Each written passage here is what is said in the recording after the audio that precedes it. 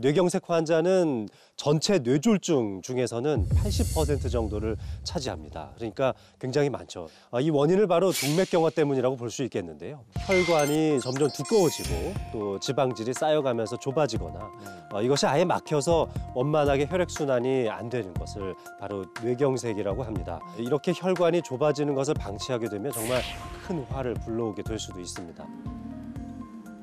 실제로 어제 입원하신 환자분이셨는데요. 70대 초반의 여자 환자분이셨는데 1년 전에 처음으로 고혈압을 진단받았다고 해요. 약을 겨우 한 알 정도 복용하고 있었다고 하는데 혼자서 집에서 저녁 식사를 하고 있다가 갑자기 왼쪽 팔다리에 힘이 빠지는 증상이 나와서 어, 딸에게 전화를 했는데 딸과 대화를 나누는 동안에도 발음이 굉장히 이상하게 꼬이는 증상이.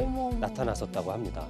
딸이 부랴부랴 퇴근을 해서 어머니를 모시고 응급실에 와서 어, 저희가 MRI 촬영을 해보니까 오른쪽 이마 옆 안쪽에 어, 메추리알 정도 크기의 뇌경색이 찾아와 있었습니다. 어머. 네. 그 딸이 이게 잘 현명하게 잘했네요. 아, 네, 정말 너무 대처를 잘하죠. 그렇다면 어떤 사람의 뇌졸중 위험이 높을까요? 최근 이제 국제 연구팀에서 뇌졸중을 가져오는 원인에 대한 분석을 해봤는데요.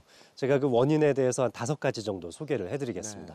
가장 아래 단계부터 한번 볼까요? 네. 비만도. 자, 5위는 비만입니다.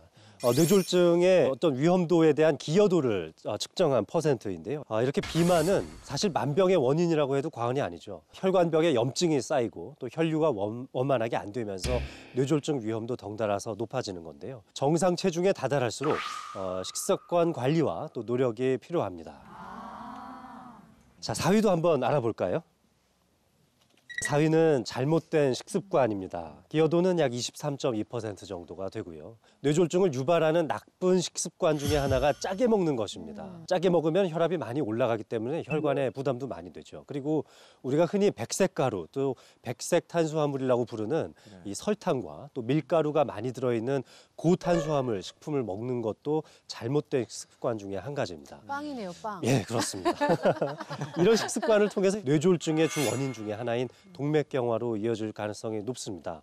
아, 그러니까 서서히 분해되는 그 베이지색 탄수화물로 되어 있는 통곡물로 되어 있는 빵이라든지 잡곡이 들어있는 빵을 드신다면 은 조금 더 나을 것 그런 같습니다. 건 맛이 없어요.